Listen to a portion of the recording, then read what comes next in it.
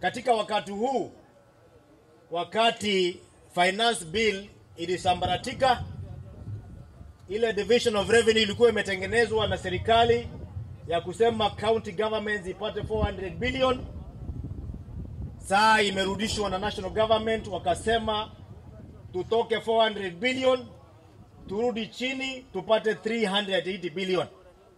Nataka kusema kwamba mwaka uliopita kaunti zote pamoja za Kenya zilikuwa zimepewa 385 billion. Kusema turudi 380, hiyo ni kurudi chini na bilioni tano. Hiyo wakati tulikuwa tumepewa 385 billion, kuna kazi mpya ambayo kaunti hazikuwa zimepewa, zimepewa saa hii. Ya kwanza hii kodi ya Social Health Insurance Authority ambayo imesemekana, kila Mkenya atalipa 27% of their salaries. Wakati wanalipa hiyo, serikali pia inatoa counter funding. NSSF pia imepanda, lazima ilipe percentage, iko juu.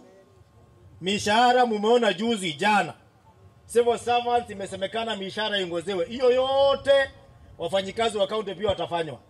Sasa tukipunguziwa pesa kutoka 385 na tuongezewe kazi ambayo tunafaa kufanya na hiyo pesa, hiyo pesa itatoka wapi? Ama ni kusema tufunge counties?